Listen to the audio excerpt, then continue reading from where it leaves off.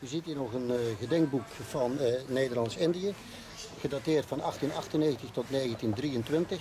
En eh, binnen in het museum hebben wij een steen liggen, wat ook is op het moment dat de koningin Wilhelmina met haar 25-jarig ambtsjubileum in Oosterhout was, is de gedenksteen onthuld. En dit boek refereert daar waarschijnlijk aan. En we zullen er eens even in, in bladeren.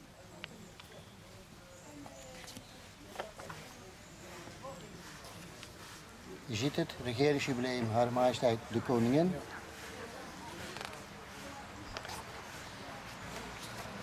Eens kijken of we daar nog een schets van uit Indië.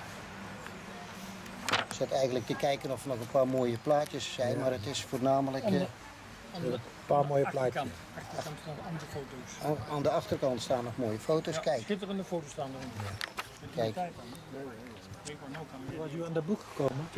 Ik heb van mijn buurman, en die heeft van Rome Marten. En die wil je het eh, in een container gooien.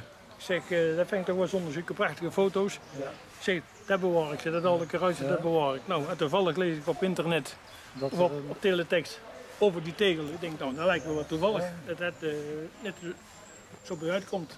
En daarom denk ik, ik ga eventjes kijken hier bij jou Oosterhout, want daar ligt die gedenksteen. Ja, weet je, we kunnen informatie afwisselen onder elkaar. Hè? goed, vriendelijk dank. Ja. Dus die foto's zijn misschien. Ah, hier hebben we nog. Die zijn misschien 95 jaar geleden. Kom je hier staan, Soeter? Nee, nee. Oh, nee, ze wel schitterende foto's om te zeggen. Ik wil ook foto's maken. Kijk, en voor die tijd. Ja. Kijk, nou, die het nou kan ik geen foto's maken, ja. Je kan alles met foto's, dat weten we digitaal. Hè? Ja, ja. Maar die het uit is en het zijn schitterende foto's.